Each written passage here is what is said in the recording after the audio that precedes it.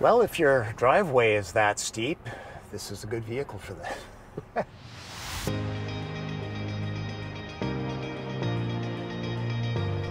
Americans love their three row SUVs and clearly adore the Kia Telluride.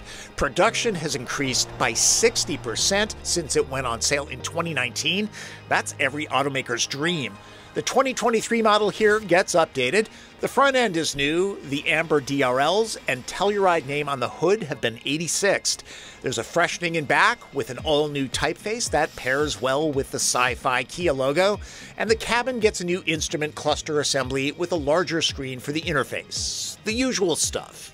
Telluride didn't exactly need a mid-cycle refresh. Sales have been incredibly strong. In fact, these are mostly spoken for before they even hit dealer lots. For 2023, there are two new models, the X-Line and X-Pro, that are only going to make it even more popular. That's because both get an extra rugged look that people can't resist, including an extra 10 millimeters of ground clearance, that's four tenths of an inch if you're not up on your metric system, and embossed leather seats too. The X Pro that I'm focusing on adds Continental all terrain tires, an upgraded cooling fan for the best towing capacity available on Telluride, 5,500 pounds. It adds a grand to the X Line's price. The SX Prestige X Pro I'm in retails for $55,100 with shipping. I'm in San Antonio, Texas for a ride and drive event. Car 4 is ready. Off roading it with Brian Wong from Edmunds. If you're not looking at that site, write that wrong. But first, we know things progress uh, and the competition isn't standing still. A little more about the refresh. One of the important upgrades is with the suite of active electronic safety tech, or ADAS. And standard, we have intelligent speed limit assist, that's on all Tellurides, along with a, an enhancement with the uh, forward collision avoidance with juncture turning, so when you're making a left-hand turns, the system kind of has your back and is also there to watch over to avoid or, or mitigate uh, a bad situation. Telluride can seat seven or eight, depending on model, so it's great for family duty. There are belts for three here. I'm five foot nine, and two of me will be fine for short trips with enough headroom. There's storage and cup holders, and in the SX Prestige models at least, USB ports. Like all in this class, seats are low, so there's really no thigh support to speak of. All Tellurides run with a 3.8 liter V6 that cranks out 291 horsepower and 262 pound feet of torque. There's nothing upgraded there.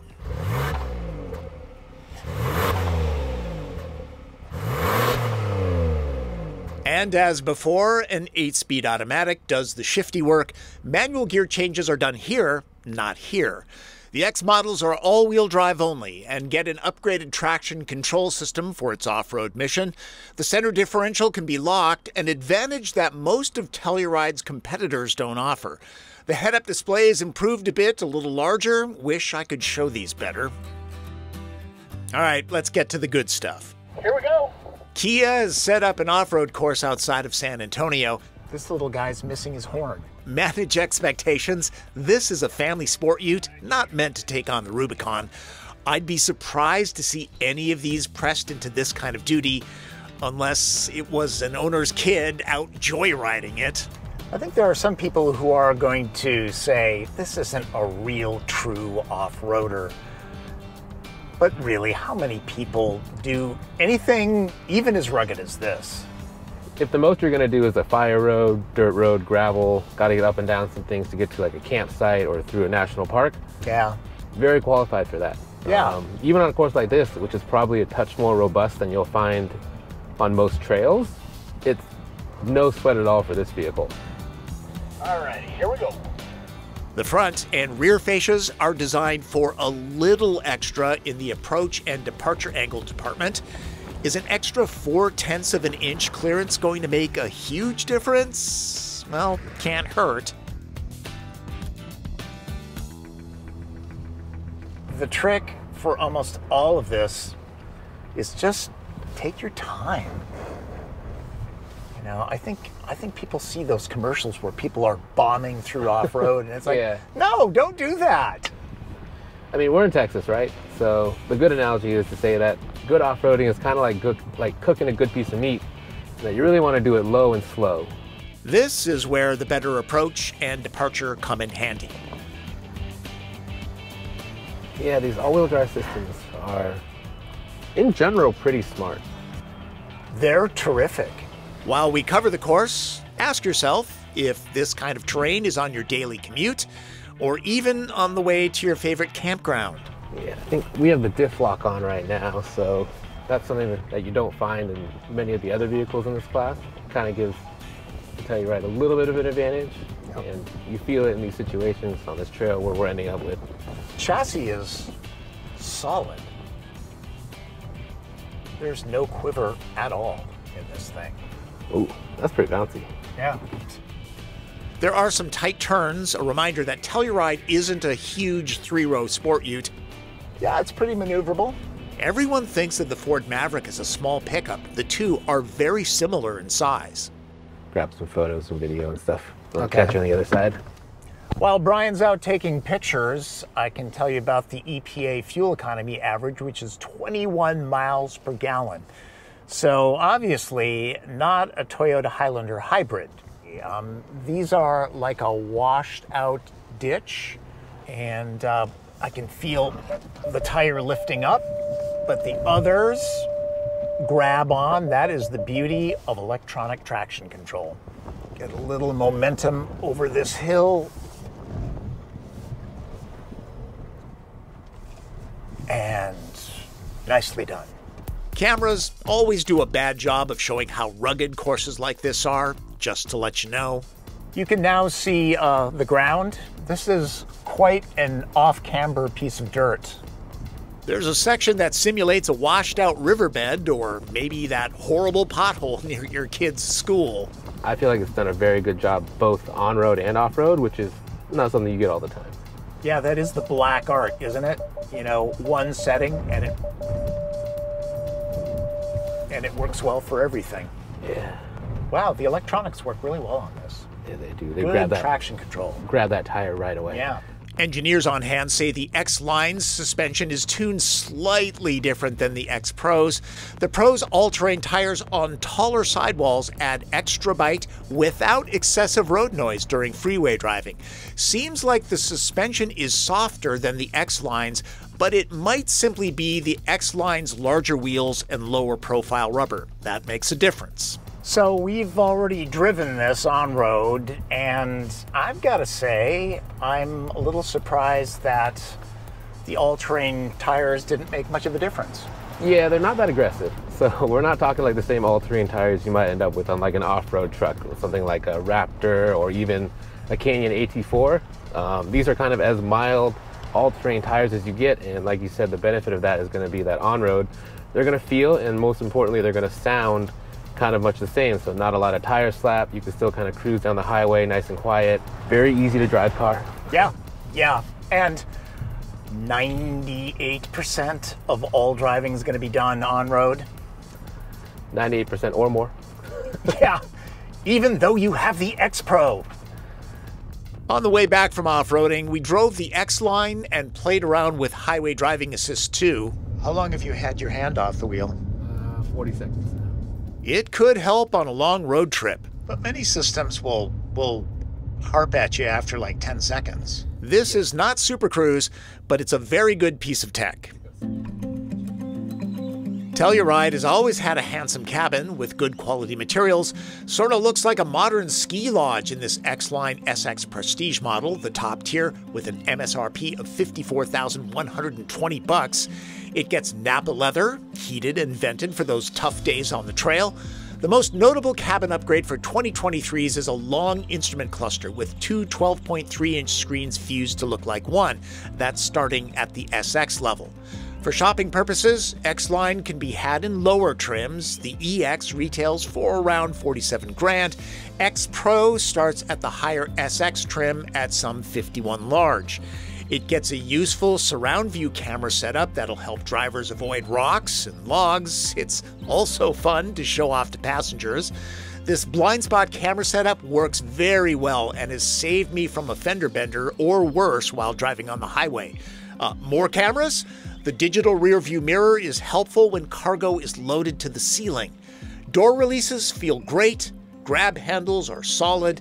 The trim from plastic trees is some of the best artificial bark in the business. The suede headliner is up there with luxury vehicles. There's no shortage of places to stash things away. Telluride is the automotive equivalent of a tackle box. Digital key 2 touch.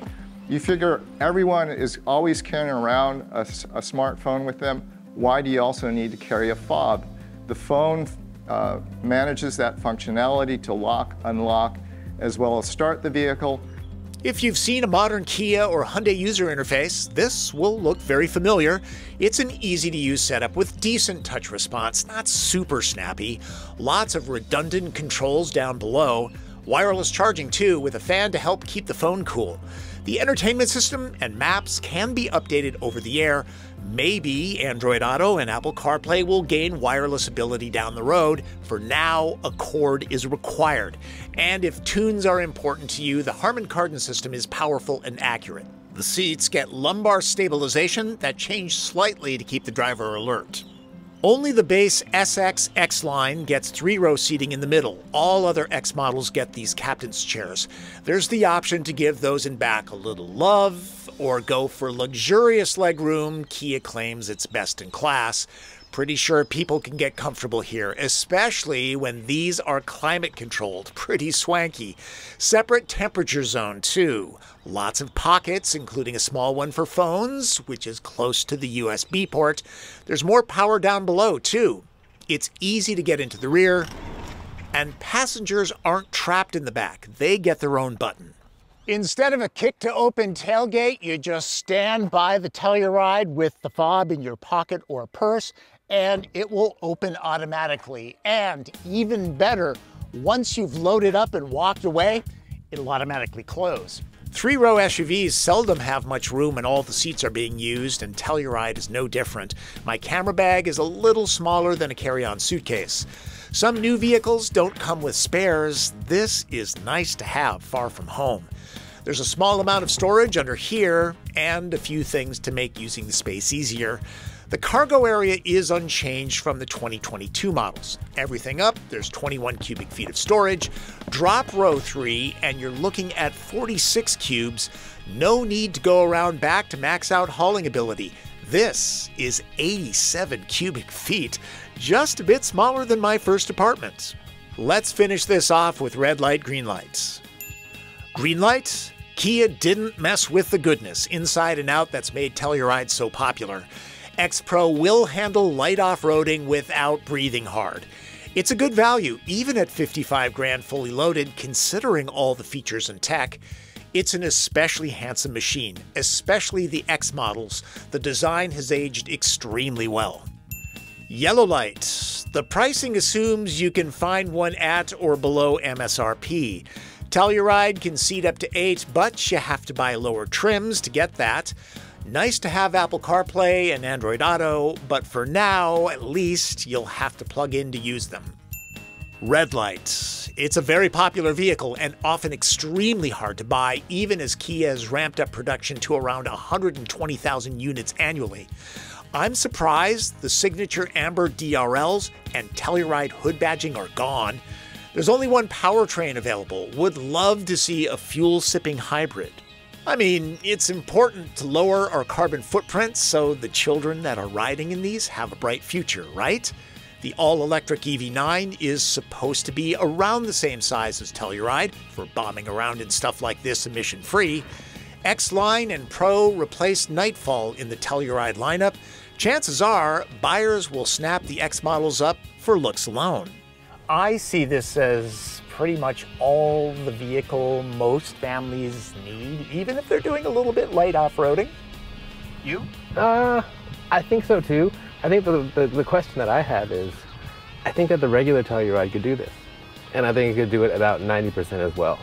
Yeah, there's a couple of the little things where I think the tires make a little bit of a difference because tires always do, they do. make a difference, and a lot of people don't understand that. But especially on something like this where we're coming up this grade and it's a little bit off camber and yeah, in those situations, yes. But I also think that if you put me into a non-X Pro SX Prestige, let's say, of this vehicle, I could probably follow you and keep up without too much trouble. You're so. also a good driver. You're an experienced driver. That's true. Telluride is a useful family machine. Handsome, too. X Pro and X Line bumps up the rugged image. Even if owners don't tackle stuff half this tough, it's always smart to give the customer what they want. Special thanks to Brian Wong for his guest appearance. Remember, check out Edmunds. Everyone there does a terrific job. Just like you shop for vehicles, make sure you look at more than one source in your car reviews. A footnote Brian and I took a detour on the way back to stop at Buc-ee's. If you're not familiar, it's known for its acres of gas and diesel pumps, just as many stalls in the bathrooms, and food like cantaloupe fruit cups. Uh, seriously, though, fudge, candied nuts, barbecue, and most important, jerky. In the excess equals success department, I offer this up for your approval. It just keeps going and going. You can buy it prepackaged, but why? At the counter, it's like choosing your own lobster. I do find the severed head logo a little creepy. Clearly, Buc-ee was meant to have a body. And you can take the whole beaver home for the holidays, or any number of Buc-ee swag items. It's like crossing a gas station with Disneyland. FYI, with all that food and retail, this is the perfect place to put EV charging stations. Well, that's your first look at the 2023 Kia Telluride X Pro. I'll leave you with this fun fact. The Kia executives internally call this the Celluride because it is so wildly popular. They've never been able to make enough of them. Good problem to have. Remember, subscribe to this channel, click notifications, follow me on Twitter, and leave me a question if you've got one in the comments. That's Driven. I'm Tom Voelk.